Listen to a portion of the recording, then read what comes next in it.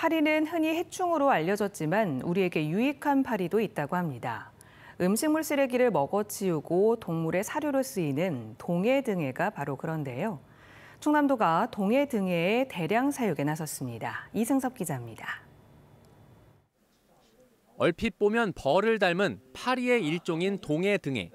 성충이 되면 물만 먹고 사는데 이를 내뱉지 않아서 질병을 옮기지 않습니다.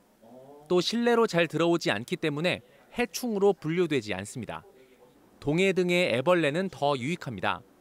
음식물 쓰레기나 가축의 분뇨를 먹고 자라 환경을 깨끗하게 합니다. 애벌레의 배설물은 퇴비의 원료가 되고 애벌레를 말리면 가축 사료의 동물 단백질로 쓰입니다. 우리나라에서 100억 원 넘게 생산될 정도로 상품 가치가 뛰어나지만 사육 과정에서 발생하는 악취가 골칫거립니다.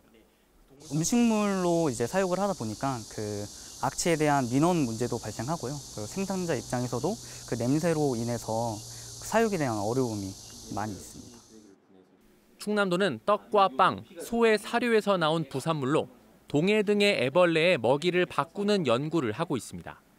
암모니아 수치가 이제 음식물 같은 경우는 유충의 생육이 거의 끝나갈 때쯤 10 ppm이 넘게 측정이 되었는데 소사료 같은 경우는 거의 측정이 되지 않았습니다.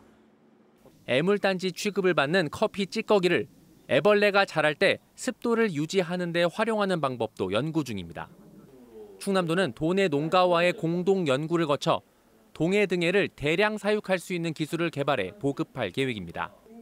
MBC 뉴스 이승섭입니다.